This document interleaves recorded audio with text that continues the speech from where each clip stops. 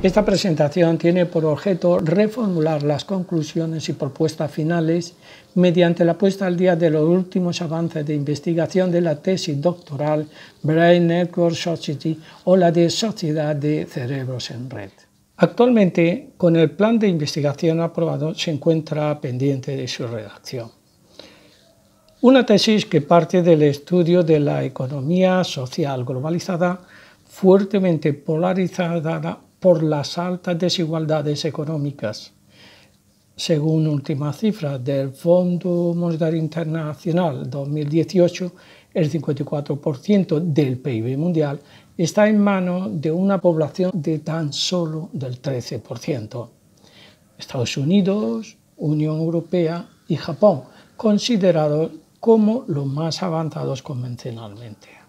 Una fuerte polarización inmensa en las redes de telecomunicación, donde Internet se presenta en el año 1998 con la capacidad de interconectar al 71% de la población mundial del año 2000.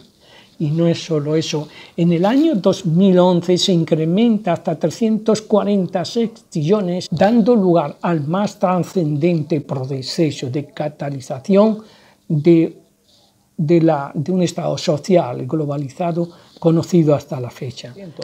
Un proceso de cambio que podíamos simular de lo que está ocurriendo con el síndrome de la rana horrida y por lo cual si lanzamos una rana a, una, a un envase con agua hirviendo, la rana saltaría, pero si la sumergimos en agua tibia a incremento de temperatura 0,02 grados centígrados, la rana ni se movería, no saltaría y moriríamos hervidos, como nos puede pasar a nosotros.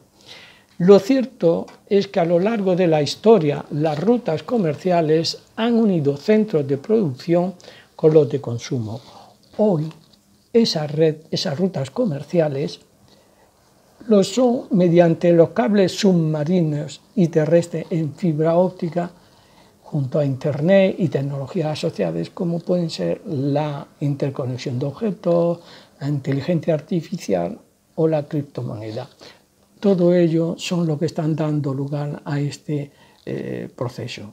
Rutas que comenzaron precisamente aquí en Canarias, con el primer cable submarino comercial en fibra óptica uniendo Altavista en Gran Canaria con, eh, con la Cantenaria en Tenerife. Estamos hablando del proyecto Optican 1 eh, del año 1985.